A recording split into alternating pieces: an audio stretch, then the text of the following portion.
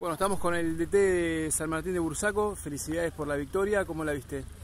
Bueno, muchas gracias. La verdad que complicada, en una cancha muy, muy complicada también, eh, con un rival que, propuso su juego. Y bueno, la verdad que, haber sorteado, después de haber estado con un nombre en una parte importante del partido, haber sorteado este partido y, y tener la victoria fue, fue muy importante.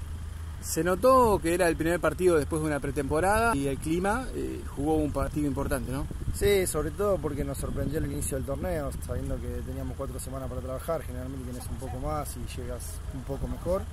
Pero bueno, es normal que al principio se muestren estas cosas. Eh, yo creo que con el correr de los partidos se va a ir acomodando.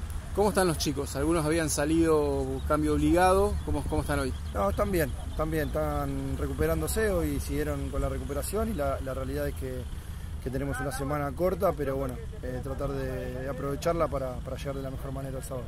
Por último, ¿qué pasó por la cabeza en el momento de la expulsión? Porque San Martín no bajó los brazos, se acomodó bien, se replegó bien y terminó ganando el partido. ¿Tenías la esperanza de ganar el partido, inclusive con un hombre menos? Sí, obvio. Lo que pasa es que bueno, teníamos que sostener la calma, teníamos que tratar de estar ordenados, saber que el rival iba a pensar en atacarnos, eh, iba a querer aprovechar ese hombre de más y bueno, nosotros pudimos sostener justo lo que te dije, justamente la calma, la, saber que una posibilidad nos iba a quedar y bueno, la pudimos aprovechar.